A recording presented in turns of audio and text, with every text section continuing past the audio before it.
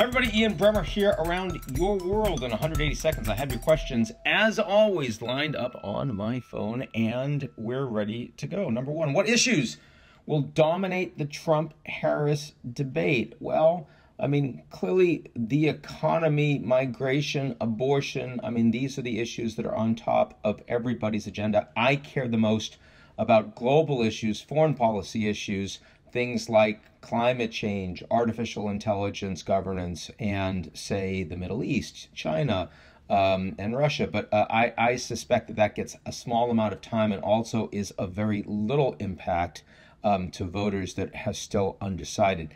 Having said all of that, I don't think this is mostly about issues. Uh, I think this is mostly about how does Harris perform against Trump and vice versa.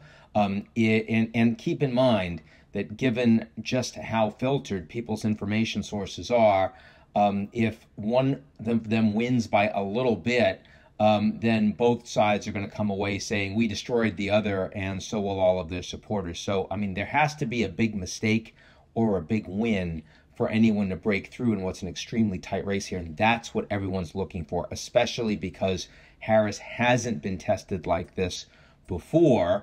And Trump's last few public appearances uh, have been uh, pretty all over the map uh, and showing his age. So I think people looking for first major test of Harris of this sort.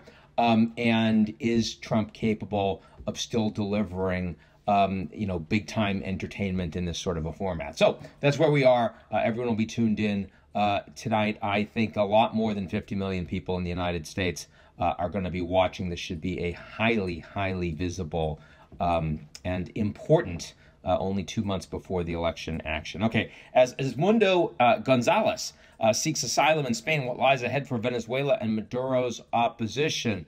Uh, well, the fact that the United States uh, has uh, impounded one of Maduro's planes shows just how much that policy had failed. an effort to try to use carrots um, to uh, get the Venezuelan government to be willing to hold a free and fair election. That was never going to happen, not from the Americans, not from the Colombians, not from the Brazilians, not from the Mexicans. There was no one out there that was going to make a difference. And sadly, not Venezuela's opposition either.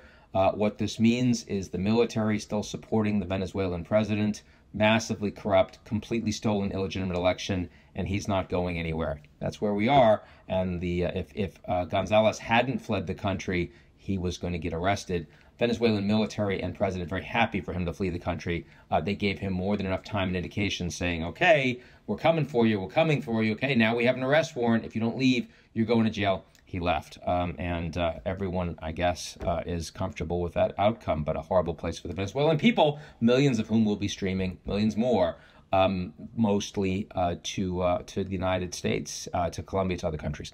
How was Mario Draghi's report on EU competitiveness received?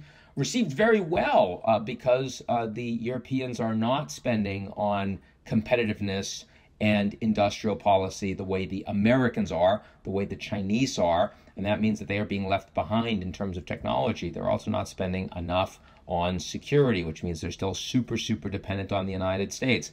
Um, and Draghi is calling for the Europeans to do a lot more, but they don't have the internal leadership to make that happen, and they don't have the fiscal space, nor do they have um, the coordination uh, capable, even in a strong European Union. So, very welcome, not going to get implemented. That's where we are. Love Draghi, uh, but uh, he ain't running the EU. Uh, that's it for me, and I'll talk to you all real soon.